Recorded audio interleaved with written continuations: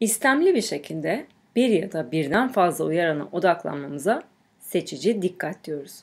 Seçici dikkati fener veya spot ışığının yarattığı etkiye benzetebiliriz.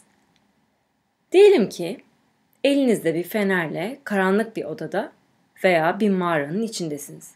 Sadece o an için ışığı tuttuğunuz noktada neler olduğunu görebilirsiniz. Diğer kısımlar sizin için hala karanlıktır.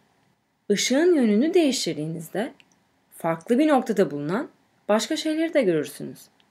Ama aynı anda her yeri aydınlatamazsınız. Seçici dikkat işte tam da buna benziyor. Beş duyu organımız aracılığıyla çevremizden tonlarca bilgi toplarız. Ancak bunların birçoğunun farkına varmayız. Etrafta dikkatimizi çeken bir şey olduğunda odağımızı istemli bir şekilde ona doğru yöneltiriz. Mesela ben söylemeden önce ayağınıza temas eden çoraplarınızı hissetmiyordunuz. Ya da sandalyenizin sırtınıza yaptığı baskıyı. Hatta bilgisayarınızın havalandırmasından gelen sesi de fark etmemiştiniz. Size söylediğim ana kadar hiçbirine dikkat etmediniz. Ama söylediğim anda dikkatinizi verdiniz ve farkına vardınız. Hafızamızda tıpkı buna benzer şekilde çalışıyor.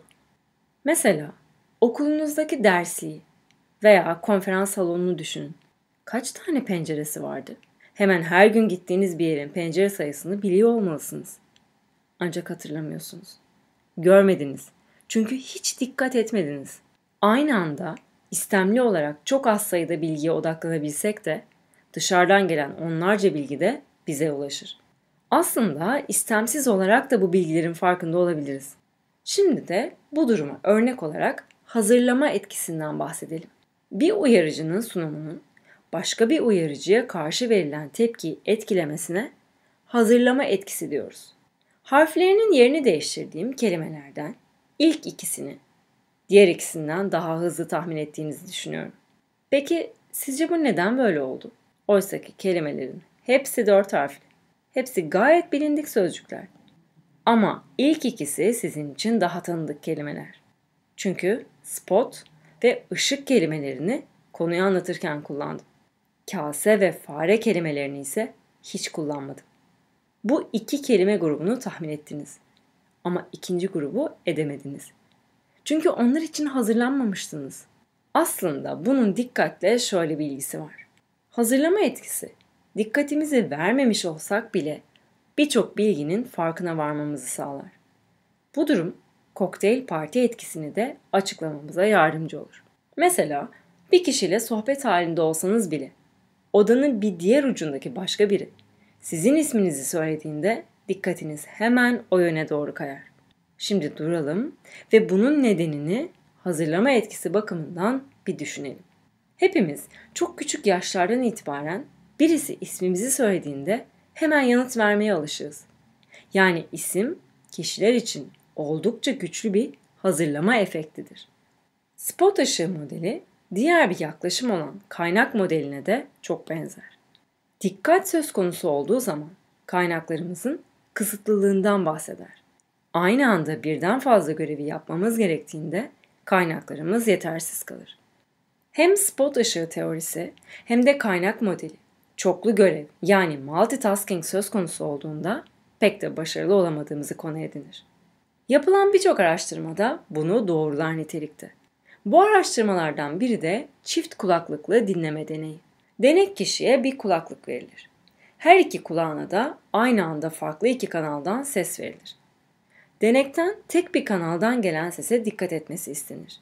Buna dikkat edilecek kanal diyelim. Diğer kanalı yani dikkat edilmeyecek kanalı dikkate almaması istenir. Testin sonucunda deneyin dikkat edilecek kanalda anlatılan bilgileri gayet iyi hatırladığı, dikkat edilmeyecek kanaldan gelen bilgileri ise hatırlayamadığı görülür. Hadi gelin bölünmüş dikkat ve çoklu görev bakımından önemli bir konu üzerinde duralım.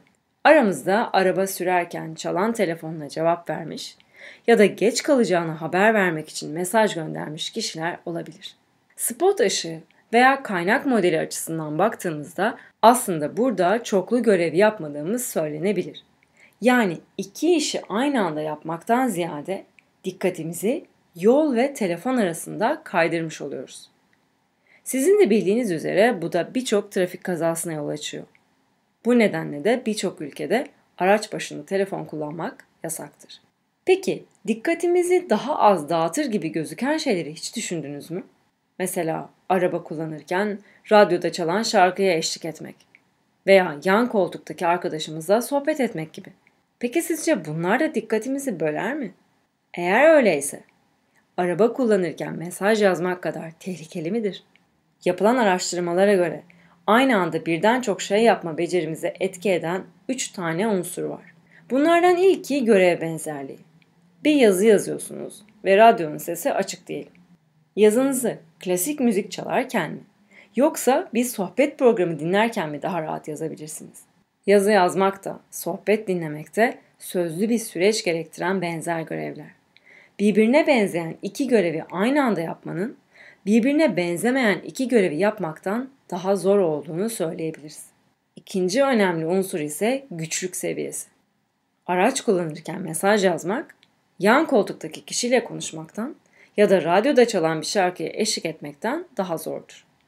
Bu durum için kendimden bir örnek vereyim. Mesela tanıdığım bildiğim bir yolda giderken daha yüksek sesli müzik dinlerim. Ama bilmediğim bir yoldan gittiğimde müziğin sesini kısar veya tamamen kapattığımı fark ederim. Çünkü yolu bilmediğiniz zaman araba kullanmak daha fazla dikkat gerektiren bir eyleme dönüşür. Çoklu görev becerimize etki eden üçüncü ve son unsur ise tekrar.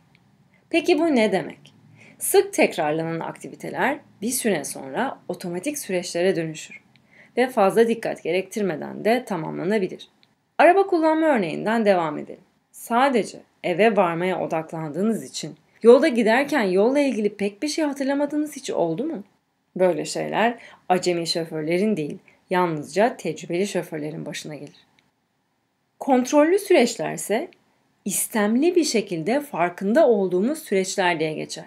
Yani dikkatimizin bölünmesi halinde görevi tamamlamakta zorlanırız.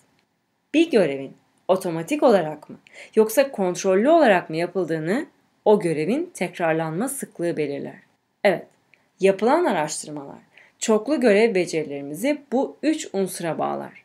Genel olarak bütün araştırmalara baktığımızda aynı anda tek bir göreve odaklanmanın, görevler çok basit olsa bile birden fazla göreve odaklanmaktan daha iyi sonuç verdiğini görüyoruz. Bu durum öğrenme süreci için de geçerli. Yine son dönemde yapılan araştırmalar, sosyal medyada daha fazla zaman geçiren öğrencilerin daha düşük notlar aldıklarını gösteriyor. Tabi bu sadece bir bağlantı ve kesin bir yargıya varmak zor. Facebook'ta geçirdiği zaman yüzünden mi öğrencilerin düşük notlar aldığını, yoksa okuldaki başarısızlıkları yüzünden mi sosyal medyada fazla zaman harcadıklarını bilmiyoruz. Belki de buna etki eden üçüncü bir faktör vardır. Yine de ben öğrenci olsam böyle bir ihtimalin olduğunu göz önünde bulundururdum. İşte bu psikolojiyi bu kadar sevmemin nedenlerinden biri. Günlük hayatımıza uyarlayabileceğimiz çok fazla şey anlatıyor. Bundan sonra radyo veya televizyon açıkken ders çalıştığınızda bunun nasıl sonuçlanabileceğini bir daha düşünebilirsiniz.